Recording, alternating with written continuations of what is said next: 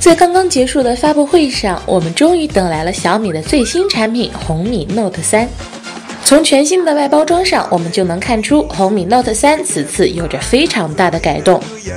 它首次采用了金属机身，侧边并没有使用常见的 CNC 切割倒角技术，而是覆盖了一层聚碳酸酯边缘，用来保护屏幕。底部依旧配备了三颗虚拟按键。值得一提的是，此次在红米 Note 3上将红米系列的招牌设计红色虚拟按键取消了，采用了灰色的设计。屏幕方面，红米 Note 3搭载了一块1920乘1080分辨率的全贴合 IPS 屏幕，型号为天马 NT35596，和红米 Note 2保持一致。在硬件配置方面，红米 Note 三使用的是联发科 MT 六七九五系列芯片，双 Micro SIM 卡槽，最大的亮点当属四千毫安时的大电池了。在保证了八点六五毫米的机身厚度和一百六十四克的重量下，红米 Note 三的设计确实可圈可点。这是一颗一千三百万像素、支持相位对焦的摄像头，感光元件为三星 S5K3M2，由 Oriflame 负责模组组装。下方是一个指纹识别区。据官方给出的数据显示，红米 Note 3能实现零点三秒快速解锁，实际体验的效果也是比较不错的。系统方面，搭载的是八月份发布的 MIUI 七系统，加入了一个小米钱包的应用，支持指纹支付。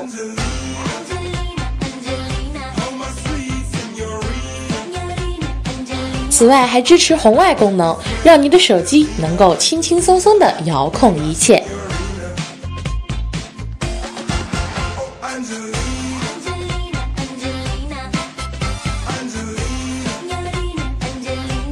具体关于这个系统，我们以前有详细介绍过，在此就不多做赘述了。如果你想要了解更多精彩的内容，就请赶快扫描屏幕下方的二维码，关注订阅我们吧。科技下午茶，与你轻轻松松聊科技。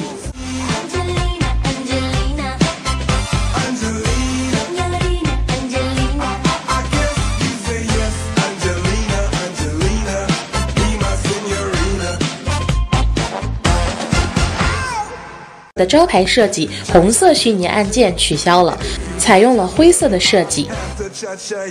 屏幕方面，红米 Note 3搭载了一块1920乘1080分辨率的全贴合 IPS 屏幕，型号为天马 NT35596，和红米 Note 2保持一致。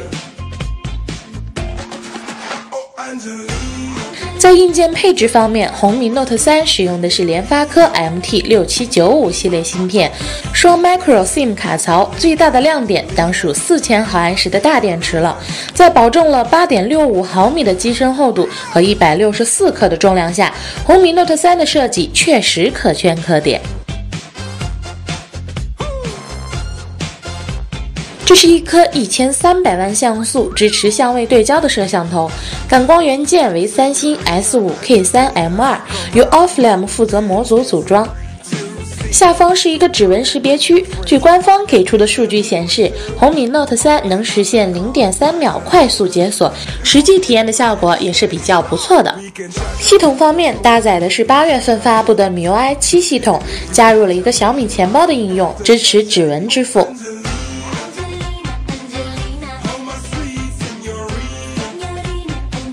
此外，还支持红外功能，让你的手机能够轻轻松松地遥控仪终于等来了小米的最新产品红米 Note 3。从全新的外包装上，我们就能看出红米 Note 3此次有着非常大的改动。它首次采用了金属机身，侧边并没有使用常见的 CNC 切割倒角技术，而是覆盖了一层聚碳酸酯边缘，用来保护屏幕。底部依旧配备了三颗虚拟按键。值得一提的是，此次在红米 Note 三上将红米系列。